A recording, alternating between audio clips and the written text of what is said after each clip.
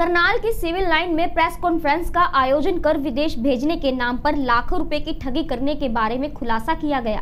Police अधिकारी ने जानकारी देते हुए बताया कि करनाल में विदेश भेजने के नाम पर पैसे ऐंठने का मामला सामने आया था, जिसके चलते पुलिस अधीक्षक सुरेंद्र भोरिया के आदेशानुसार टीम का गठन कर मामले की जाँच पड़ताल शुरू कर दी गई, जिसके चलते प्रगट सिंह को गिरफ़्तार करने में सफलता प्राप्त की गई।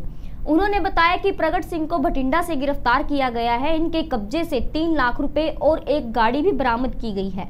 उन्होंने बताया कि इनके दो अन्य आरोपी और इस कबूतरबाजी में शामिल है, जो एक विदेश में रहता है और एक भटिंडा में ही रहता है, जिसको भी जल्द से जल्द गिरफ़्तार कर लिया जाएगा। उन्होंने आम लोगों से अपील की कि ऐसे कबूतरबाजी करने वाले और पैसे ऐंठने वाले विदेश में भेजने वाले लोगों से सावधान रहे और कानूनी तरीके से ही विदेश में जाने वालों की प्रक्रिया अपनाएँ और धोखेबाजों से बचें।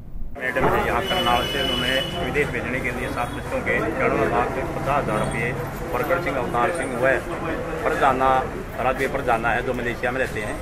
इनको दिए थे, जिनमें से एस पी साहब ने इनके खिलाफ मुकदमा दर्ज कराने के आदेश किया तो मुकदमा दर्ज करने के बाद पत्तीस हमारे पास आ गई थी। एस पी साहब के आदेश से मैंने इंस्पेक्टर साहब की निगरानी में प्रकट सिंह को पकड़ करके इसको गिरफ़्तार किया।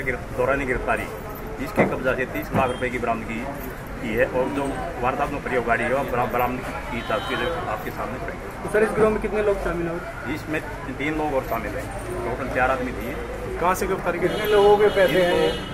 बठिंडा से गिरफ़्तार किया और भी लोग हो सकते हैं जिसमें? हाँ हाँ तीन लोग और इसके साथ में। तो कितने पैसे की डिमांड की थी इन्होंने?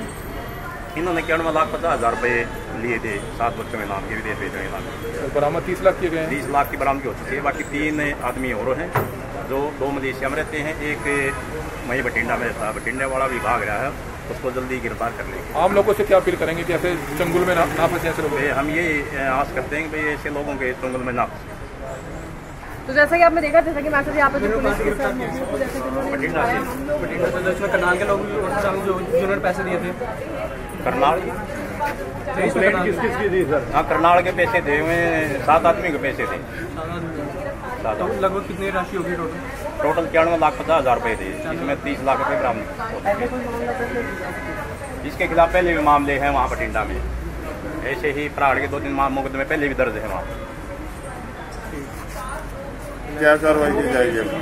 इनके खिलाफ गिरफ़्तार कर लिया इसको और आगे जो भी साथी हैं उनको भी गिरफ़्तार किया जाएगा। ऐसे ही लेटेस्ट खबरें पाने के लिए सब्सक्राइब बटन पर क्लिक कर बेल आइकन को दबाएँ।